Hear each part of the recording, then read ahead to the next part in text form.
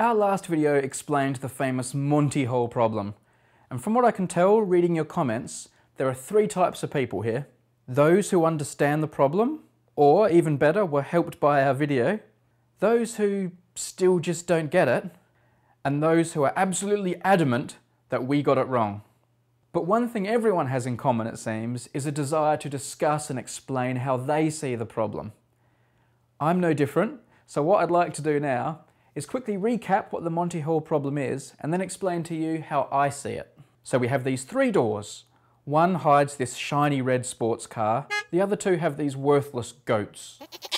You, the contestant, choose a door. Let's choose door one in this example. The game show host, Monty Hall himself, who knows what's behind each door, is then forced to reveal a goat from behind one of the two remaining doors. You're then given a choice to stick or switch. With two doors remaining, it seems some of you think this has become a 50-50 choice. Stick or switch, it doesn't really matter. There are two doors. One's got the car and one doesn't. But that's not true.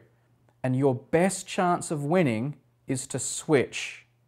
Now the reason for this is an important fact that I cannot emphasize enough. Monty Hall, the host, knows what's behind all the doors and he's forced to show you a goat from behind one of those two remaining doors after your first choice. This is very important. There is information here that's about to be put into the system. Let me explain what happens. When you made that first choice, there was a one in three chance that the car was behind your door. Surely we agree here. Now in that situation, Monty had two goats he could have revealed to you from behind these other two doors. Now that's not very helpful.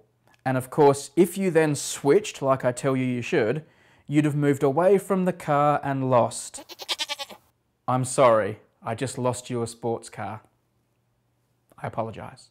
But let's be honest, there was only a one in three chance of that happening. Let's wipe the slate clean, or the brown paper clean, and now this time, let's imagine your first choice was that dreaded goat. Now this is twice as likely. There's a two in three chance that this is what you've done. We agree on that, right? Two in three chance you've chosen a goat. So this scenario, of course, should be of more interest to us. It's the more likely scenario. And this time, you have forced Monty's hand. He knows where the one remaining goat is. He knows it. And he has to show it to you. In this case, in two thirds of the games you ever play, he is indirectly telling you exactly where the car is. It's here, behind the door he didn't open. Let me say that again. In two thirds of the games, Monty can only open one door because he knows, and therefore you should know, the car is behind the other one. And because you know this, you should switch. Now you don't know for sure this has happened. There's a one in three chance this hasn't happened.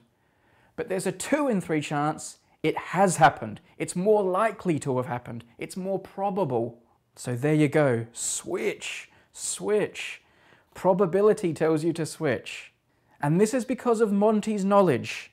If Monty didn't know what was behind the doors, this would be completely different.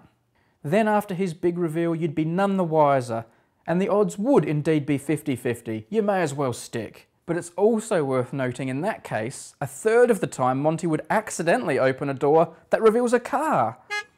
That's not the game we're playing. Monty knows where everything is and won't reveal the car. That's the rules. Monty has the knowledge and therefore you have the knowledge. And knowledge, as they say, is power. Leave a comment